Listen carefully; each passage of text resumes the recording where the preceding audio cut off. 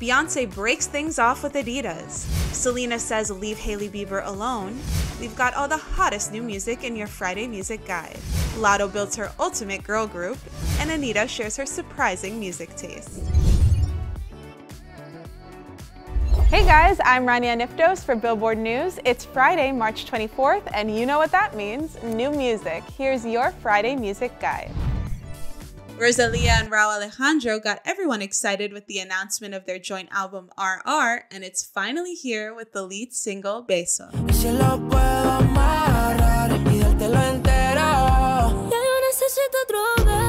And what better way to launch the ultimate joint project than with an engagement announcement?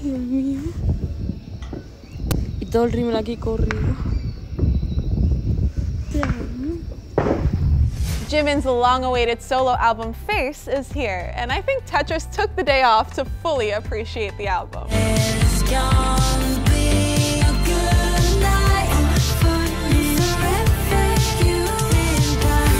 He's gotta be loving the music video for Like Crazy.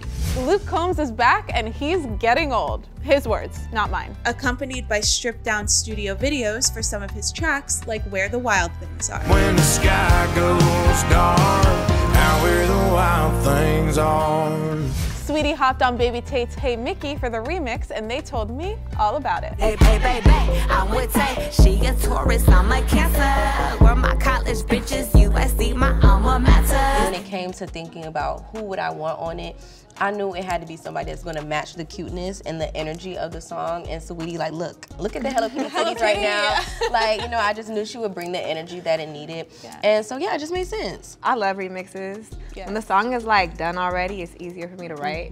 It's true. so I was just excited when I got the phone call. Want to hear some K-Rock? Løren dropped his debut EP, Put Up a Fight, and Tetris caught up with him at South by Southwest ahead of the release. And tell me about how it was to create this new sound. It's an album with a lot of songs from like different phases of, you know, my production. So I think it kind of shows like the progression of where I kind of was and where I am like right now.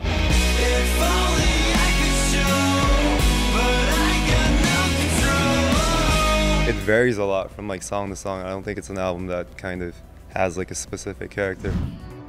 Now let's get to the top story of the day.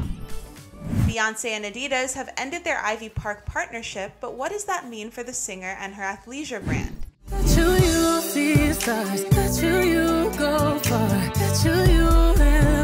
After coming together in 2018 to relaunch her athleisure brand Ivy Park, Beyoncé has parted ways from the sportswear giant Adidas. The split was reportedly due to creative differences between the two, with Beyoncé excited to reclaim her brand, chart her own path, and maintain creative freedom. Despite the breakup, Beyoncé has much to look forward to considering the frenzy surrounding her upcoming Renaissance World Tour kicking off in May. Ever wondered who Latto thinks would make the ultimate girl group? You're in luck because that's exactly what she told us. My ultimate girl group, hmm. My ultimate girl group would be, of course, me. Dolce, SZA, hey SZA, Lizzo, hey Lizzo, and Flo Milli, hey Flo. That's my girl group. Is that too many members? that's good.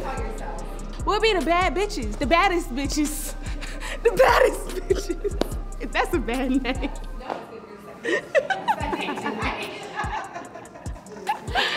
What a sucky ass name. But we got we got the talent to make up for it. Yeah. Selena Gomez has a message for her fans. Stop the bullying. Baby, show me you can calm down, calm down. Selena Gomez posted an urgent message to her Instagram stories telling her fans that she does not stand for the hateful negativity towards Hailey Bieber. Hailey reached out to Selena to let the singer know that she's been receiving death threats after an alleged feud between the two. Selena took to her socials to come to Hailey's defense, writing, This isn't what I stand for. No one should have to experience hate or bullying. I've always advocated for kindness and really want this all to stop. Let's hope Selena's 400 plus million followers see the post and respect her wishes. We here at Billboard love Anitta, and what better way to appreciate her than with a rapid fire game? You'd be shocked to learn that I'm a big fan of strokes.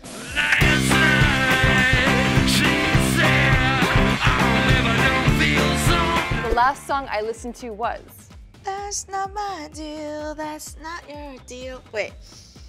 So it was. If you saw this playlist, you would be like, you listen to this? like, you'll be shocked I listened to Chris Stapleton.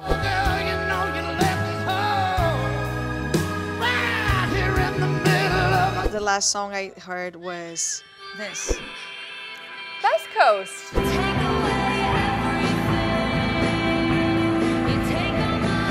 The weirdest thing that I do before I go on stage is Pee. I really pee. Because it comes in the middle of like, and you need to. I go to the bathroom and says, Is there any to come out? Any pee? Because this stage is not the time. Come on. that's the really important stuff. Yeah.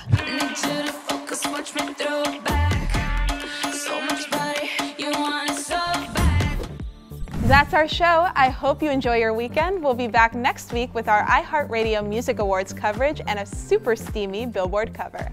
I'm Rania Niftos, and this is Billboard News.